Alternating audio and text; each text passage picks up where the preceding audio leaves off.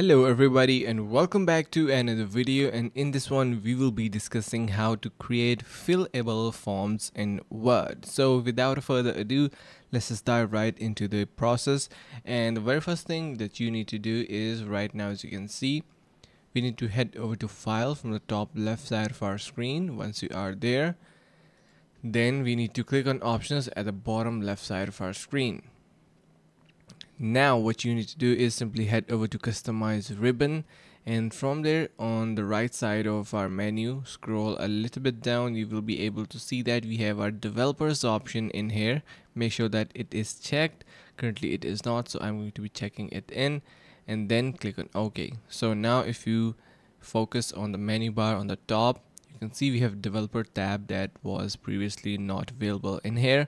Click on that and now we have our tools to add our fillable form options. So like for example if you want to add a check mark and then you can simply do that.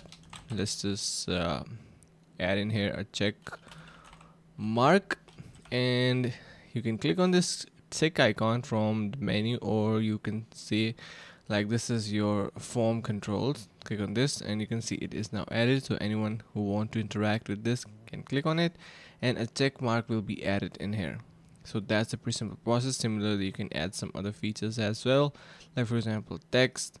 You have your calendar and all these uh, features. So yeah guys that's how you do this and i really hope you enjoy the video. If you did so make sure to subscribe to the channel. Thank you so much for watching and see you in the next video